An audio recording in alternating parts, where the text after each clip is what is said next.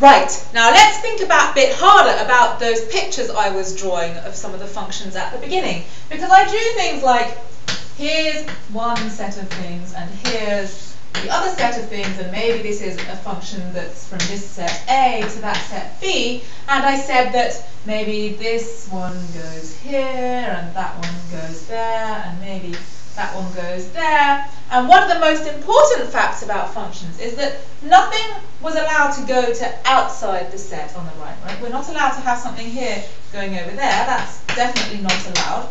So another thing is that we're not allowed to have points over here that don't go anywhere. So everything over here has to go somewhere over there.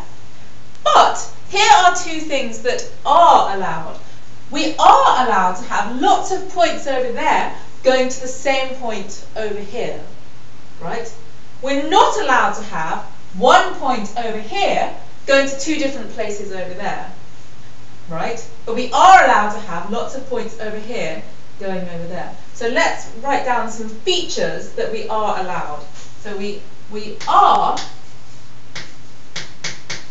allowed uh, many points on the left going to one point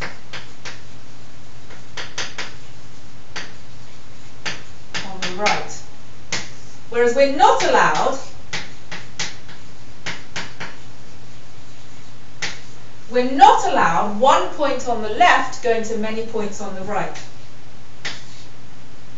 One point on the left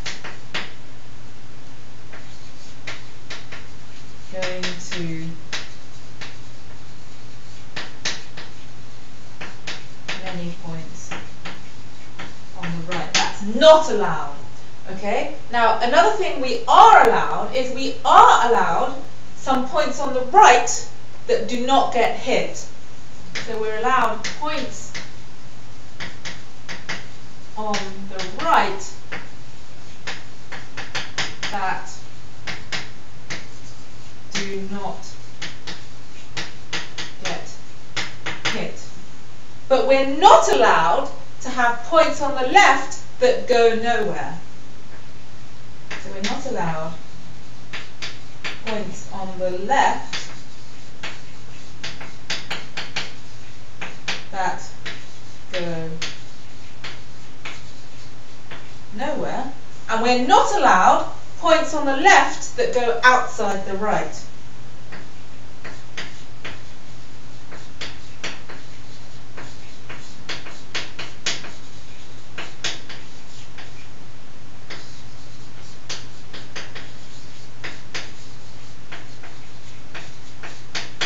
Okay, so these are the things we are allowed, and these are the things that we aren't allowed.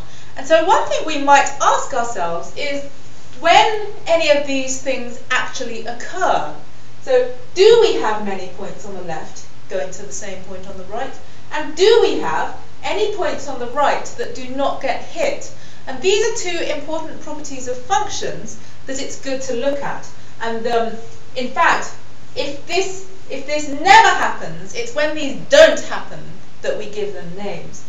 So when this does not happen, we say it's injective, and when this doesn't happen, we say it's surjective. So before I write down those definitions properly, let's have a look at some examples.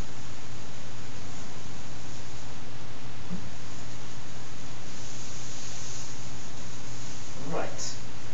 Um, so the first example of a function we had just now was, the first example we had, was we had the set A being 0, 1,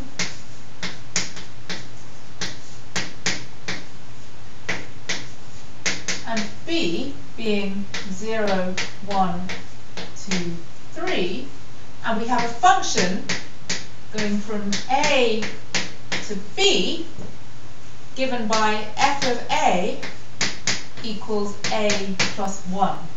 Okay? So we can draw this like this. Here's 0 and 1. Here's 0, 1, 2, and 3. Now 0 is going to go to 1, and 1 is going to go to 2. So let's have a look. Are there many points on the left going to one point on the right? Well, no, because both of these points go to completely different places. So um, let me call this A and call that B. So does A occur? No. What about B? B says, are there points on the right that do not get hit? And the answer is, yes, there are points on the right that do not get hit. Right? Because 0 and 3 do not get hit by anything. Okay, so what this means is it's going to be something called injective and this one means we're not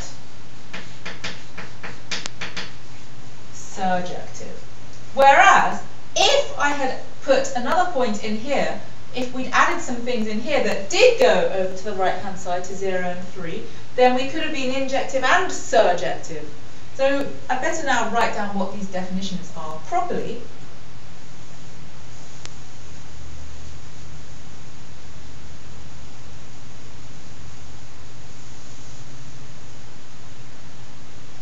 Right, okay, so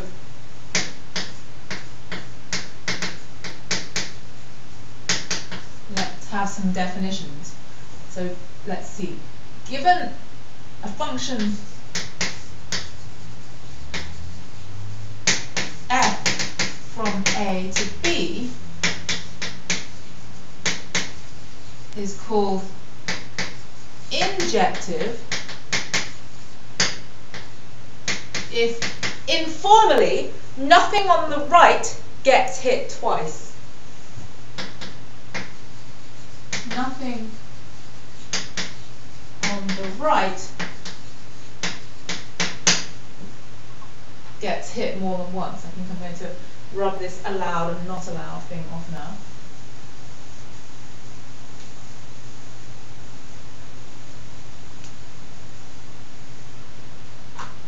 Nothing on the right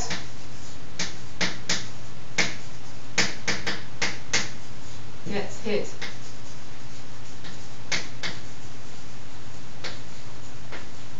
more I'll write the informal definitions up first. That's what injective means. And surjective means everything on the right gets hit.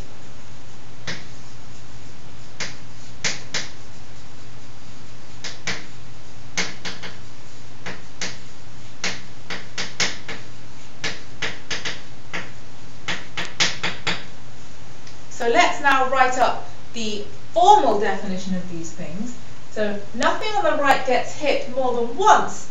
The way that we actually say it is we say for all, we say that if, if f of A equals f of B, then A had to equal B. Perhaps I should use different letters.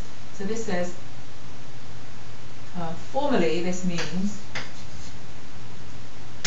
f of A1 equals f of a2 implies a1 equals a2.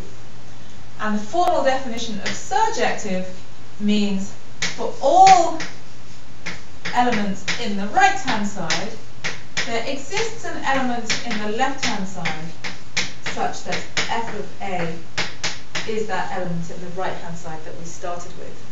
Now, in the next video, I'll explain a bit more what these very formal looking definitions do.